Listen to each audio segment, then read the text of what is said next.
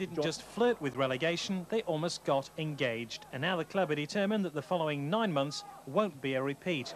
So Arthur Cox has brought four players to the club this summer, and three of them combined for the only goal of the match on 18 minutes. Chiedozie and Hebberd, the providers, Goddard tucking away his fourth pre-season goal. Hebberd came to the club from Oxford and provided a lot of the midfield drive. Although from this free kick, Forsyth was left wondering whether he'd put the right boots on the right feet. The Spanish were soon in trouble in the second half and international keeper Arconada was in difficulty deciding whether to punch the ball at Derby's Mark Wright. They might have pulled level if their centre forward Garcia Loren had been a little less selfish. As the Derby crowd became impatient for a second, Hebberd almost obliged them. Sadly, the goalposts were six inches too far to the right. In the end, Garcia Loren had an even better chance to atone for his earlier indiscretion.